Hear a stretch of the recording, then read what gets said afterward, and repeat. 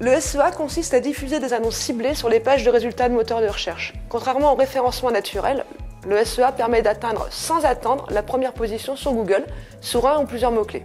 Nous nous mettons d'accord sur l'objectif de la campagne avec nos clients, généralement la génération de prospects qualifiés, puis nous définissons le budget nécessaire grâce à un outil interne de prévision de trafic.